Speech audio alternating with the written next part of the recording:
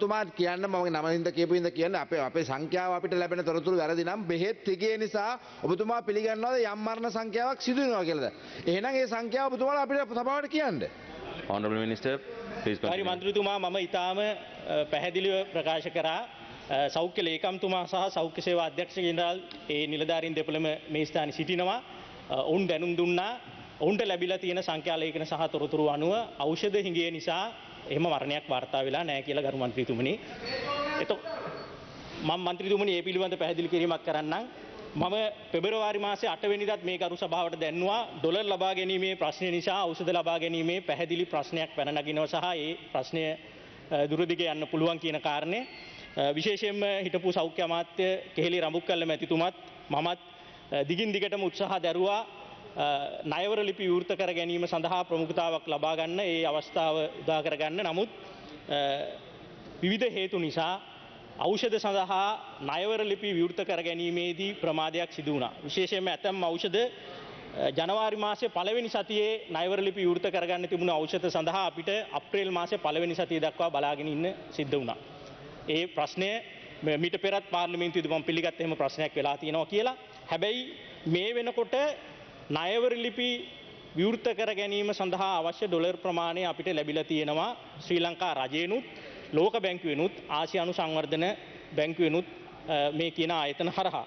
නමුත් එම ණයවර ලිපි විවෘත කර ගැනීමේදී සිදුවුණු ප්‍රමාදය නිසා ඒවායෙන් ලැබෙන ඖෂධ රටට ඒමේදී ප්‍රමාදයක් සිදුවෙනවා නියෝජකාරක සභා සභාපතිතුමනි ඇතැම් ඖෂධ දින 90ක් දක්වා ප්‍රමාද වෙන්න පුළුවන් කමක් තියෙනවා. ඒක නිසා ඉදිරියට එන මාස 3ක පමණ කාලයේදී ඖෂධ සැලකිය යුතු සංඛ්‍යාවක හිඟයක් ඇති වෙන්න පුළුවන්කම තියෙනවා. හැබැයි එයින් ඇතිවන බලපෑම අවම කර ගැනීම සඳහා අපි හැකි උපරිම ආකාරයෙන් කටයුතු කරලා තියෙනවා.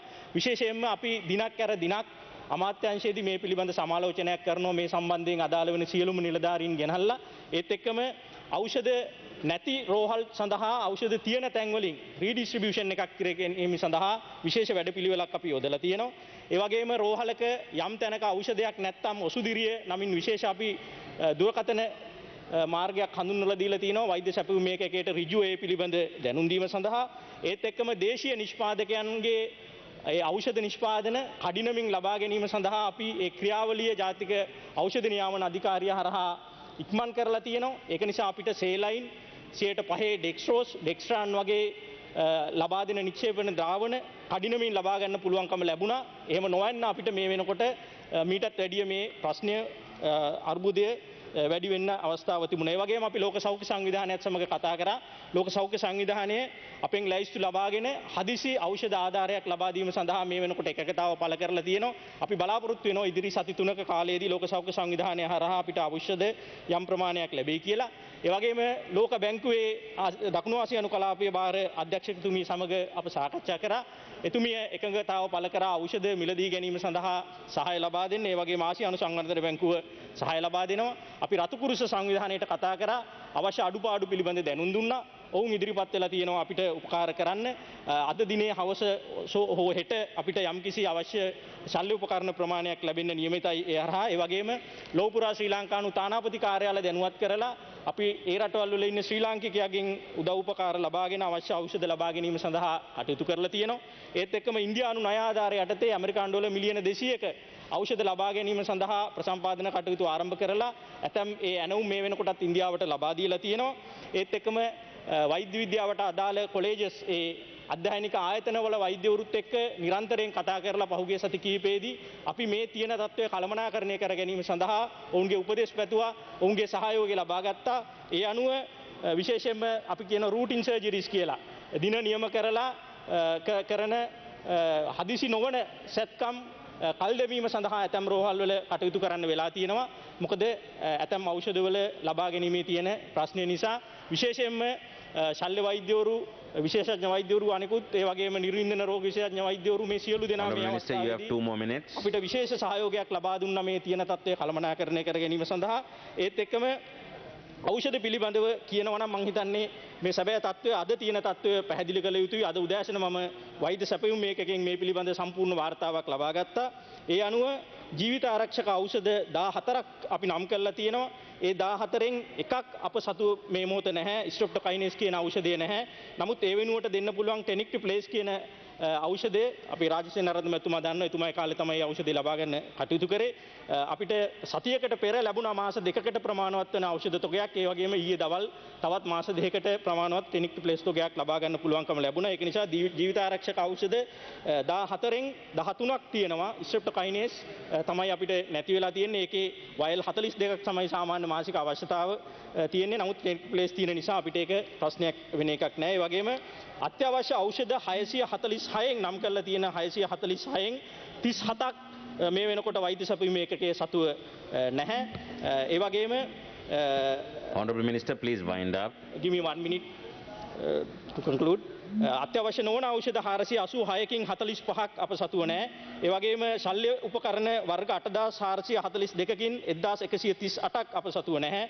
ඒ වගේම විද්‍යාගාර සඳහා යොදා ගන්නා රසායනික ද්‍රව්‍ය 4500කින් 253ක් අප සතුව නැහැ. මා මේ කියන්නේ සමස්ත වශයෙන් රෝහල් පද්ධතිය තුල නැති ඒවා මධ්‍යම සැපයුම් මේකකේ වෛද්‍ය සැපයුම් ඒකකයේ තුල නැති ප්‍රමාණය ඇතැම් මේවා මීට වැඩිය. නමුත් අපි තියෙන තැන් වලින් රීඩිස්ට්‍රිබියුට් කර ගැනීම සඳහා කටයුතු කරලා තියෙනවා.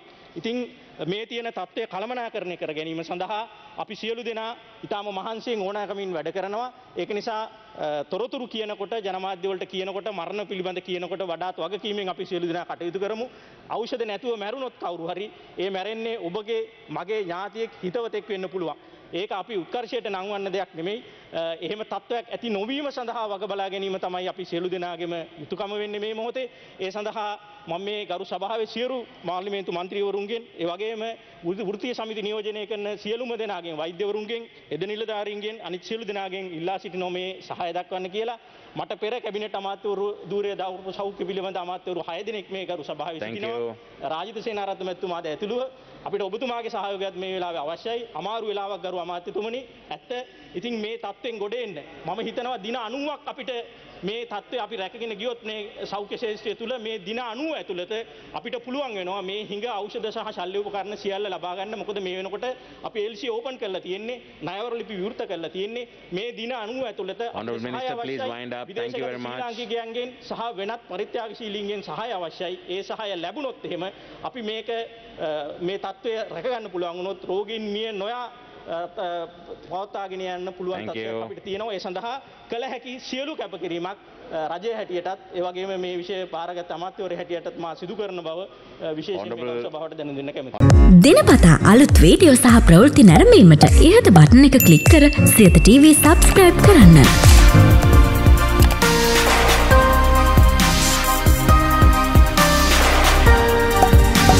වීඩියෝ ගැන මුලින්ම දැනගන්න මෙම සීනෝ කලික් කරන්න.